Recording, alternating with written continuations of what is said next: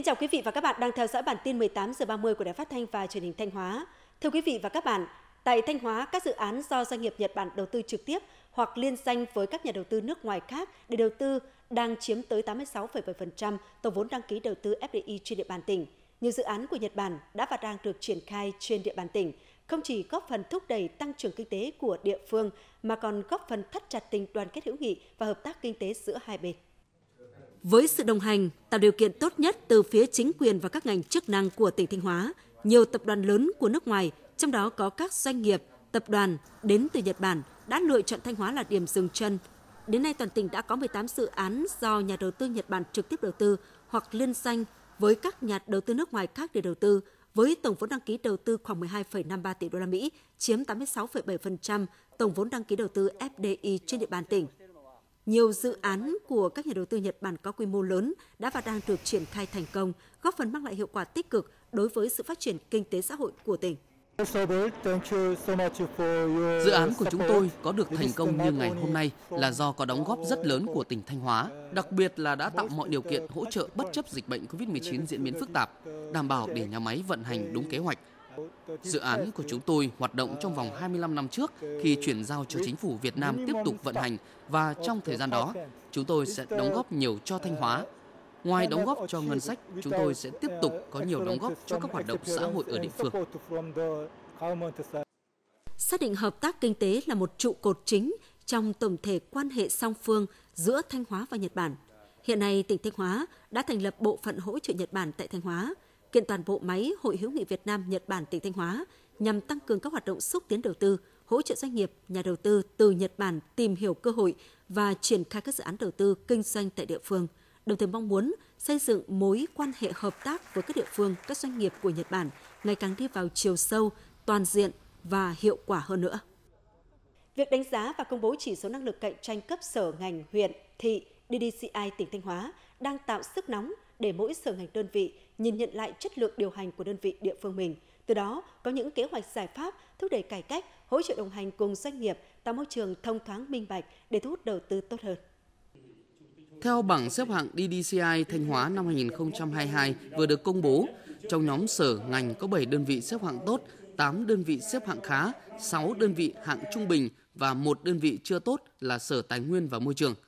Ở khối huyện, thị xã, thành phố có 6 đơn vị xếp ở nhóm tốt, 11 đơn vị xếp hạng khá, 9 đơn vị hạng trung bình và một đơn vị xếp hạng chưa tốt là Ủy ban nhân dân thị xã Nghi Sơn.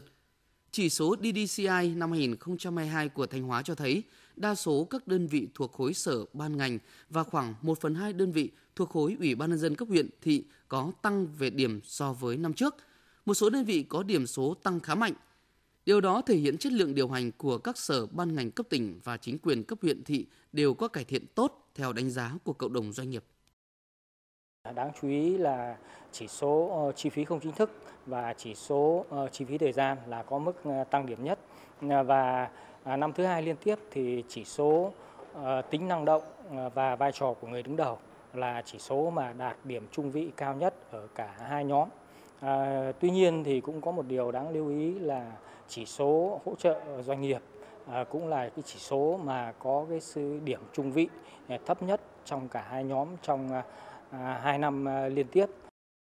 Tuy nhiên, giá trị và sản phẩm quan trọng nhất của DDCI không phải là bảng xếp hạng thứ bậc của các sở ban ngành huyện thị mà chính là những bài học kinh nghiệm, những dư địa cải cách được phát hiện và những khoảng cách cần được thu hẹp giữa nỗ lực của chính quyền và kỳ vọng của doanh nghiệp.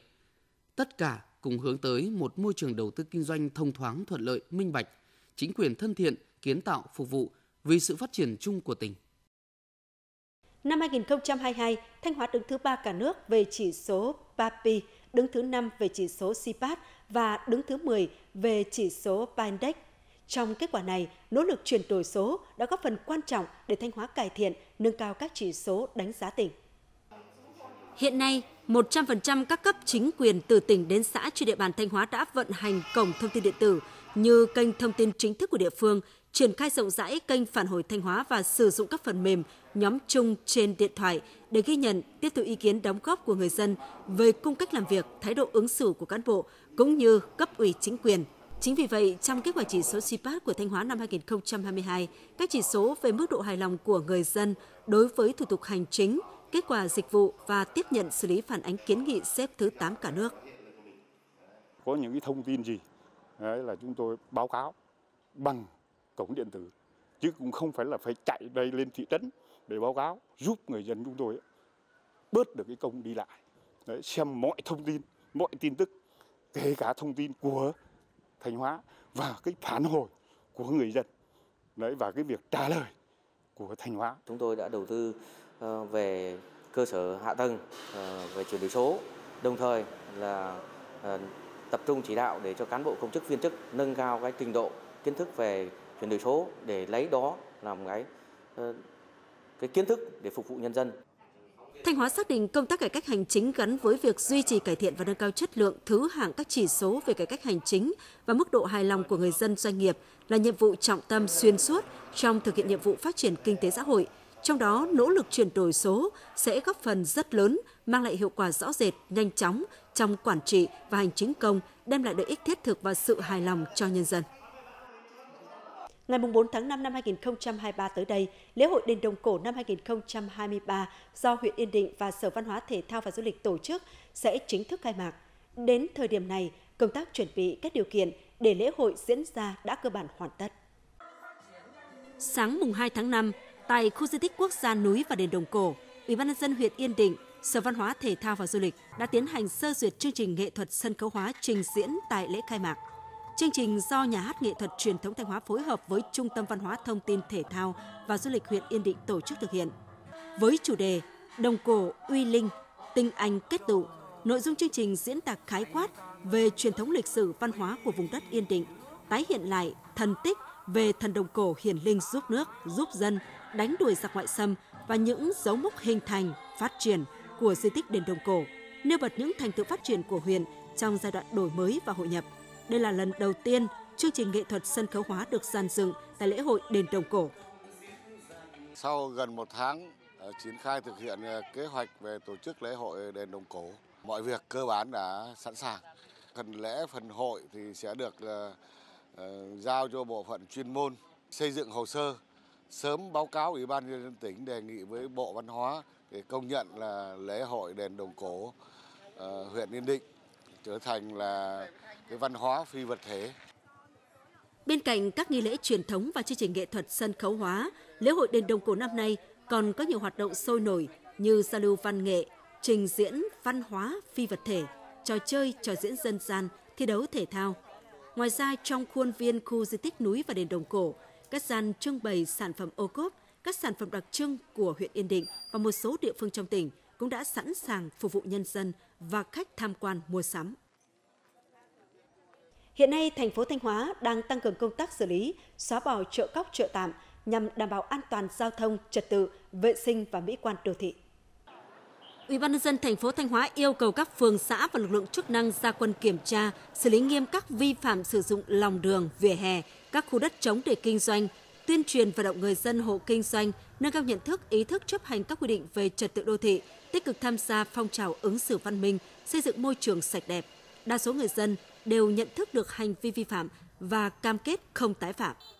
Chúng tôi là cũng có bày tràn ra cái lòng đường vỉa hè nhưng mà cũng thực sự là được các cơ quan chức năng ví dụ như quy tắc phường, quy tắc thành phố nhắc nhở và cũng đã ký cam kết để không vi phạm. Lực lượng chức năng đã tuyên truyền thì chúng tôi đã kéo xe dẹp vào bên trong đây để giả lại cho người đi bộ và giả lại mặt đường cho thông thoáng cho mọi người đi lại. Tuy nhiên, thực tế trong thời gian qua, tình trạng tái lấn chiếm lòng đường vỉa hè để kinh doanh tại thành phố Thanh Hóa vẫn chưa được giải quyết triệt để. Do vậy, để chợ cóc chợ tạm, các điểm kinh doanh tự phát không tái phát trở lại, Ủy ban nhân dân và lực lượng chức năng các phường xã cần thường xuyên tổ chức tuyên truyền, tuần tra kiểm soát, nhắc nhở cũng như xử phạt nghiêm các hành vi vi phạm. Bên cạnh đó, mỗi người dân cần có ý thức tự giác chấp hành quy định về hành lang an toàn giao thông, không lấn chiếm lòng đường, vỉa hè để kinh doanh. Quý vị và các bạn vừa theo dõi bản tin 18 giờ 30 của Đài Phát thanh và Truyền hình Thanh Hóa. Xin kính chào tạm biệt và hẹn gặp lại.